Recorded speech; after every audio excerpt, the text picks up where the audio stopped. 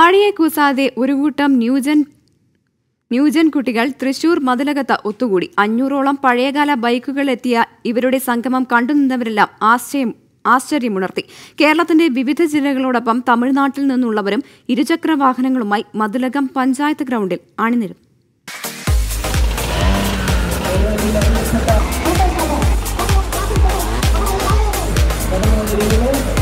കാലവർഷത്തിന്റെ വരവറിയിച്ചെത്തിയ നല്ല മഴ ശരിക്കും ആസ്വദിച്ചത് ഒരു പറ്റം യുവാക്കളാണ്.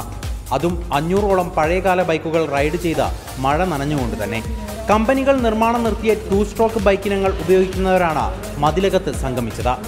Yamaha Vijay super Chetak Rajdoot samurai shogun Jawa S D Vespa ലാംബി ഇങ്ങനെ പോകുന്നു സംഗമത്തിലെ പങ്കാളികൾ.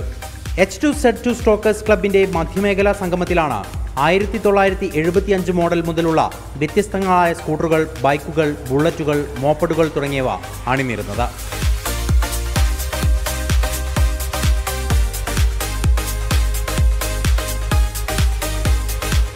ഒരുപാട് വിന്റേജ് വണ്ടികൾ ഇപ്പോൾ ഈ പ്രോഗ്രാമിലേക്ക് സംബന്ധിച്ചിട്ടുണ്ട്.